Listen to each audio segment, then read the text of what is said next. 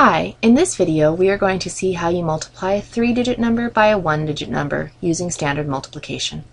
So our three-digit number is 212 and our one-digit number is 4. You always start by multiplying the ones place first. So 4 times 2 is 8 and I will write that in the ones column. Now I'll multiply 4 times 1. 4 times 1 is 4 and I'll write that in the tens column. Now I'll do 4 times 2. 4 times 2 is 8 again. And that 8 all goes in the hundreds column underneath the 2. So my answer is 848. Notice that when I'm multiplying the 1, it's actually 10. And this 4 is actually 40. But that's all taken care of because it's in the tens column. Just like the 2 is really 200 and this 8 is really 800. But that's all taken care of for me because it's in the hundreds column. So I don't have to worry too much about the place value because the columns take care of the place value for me. Let's try another example. Again, we begin in the ones column. 2 times 9 is 18. But 18 does not fit in this, in this column, so I have to split it up.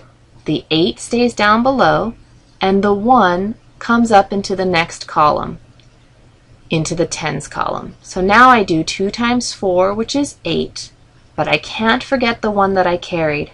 I have to add that on so that now I have 9. And that goes in the tens column underneath the 4. Now I'll do 2 times 3, which is 6, and that lines up underneath the 3 in the hundreds column, and my answer is 698. Let's try one more example.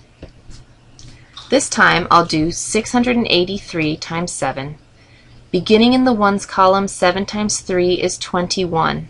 But that's too big, so I have to split it up. I'll put the 1 down below and carry the 2 into the next column. 7 times 8 is 56. But I can't forget this 2. When I add that on, I get 58. And I have to split that up as well. So I'll put the 8 down below and carry the 5. Now do you see the 58 that was split up? Now I'll do 7 times 6, which is 42, plus 5 is 47.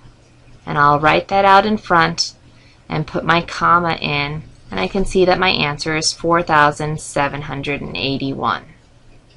So I hope you use uh, grid paper when you try to do your own examples.